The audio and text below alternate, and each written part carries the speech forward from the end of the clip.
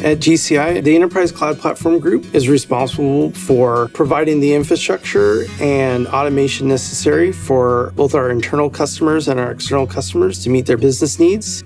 Alaska is a very large state. We have a lot of unique challenges where we have to provide services to these different locations. Some of these locations can only be gotten to by airplane or boat, and those require unique engineering and other skills to get deployed and maintained.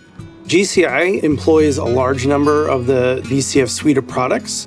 We particularly utilize the ARIA suite for automation, deployment of workloads, ARIA operations for monitoring and alerting on our infrastructure.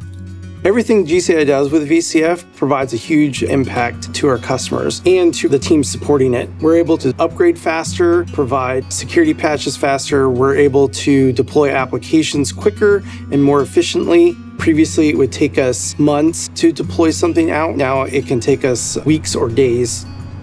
GCI right now is very focused on delivering a really good developer experience. So we're very excited to be talking about Tanzu application platform and, and getting that up and running for our developers.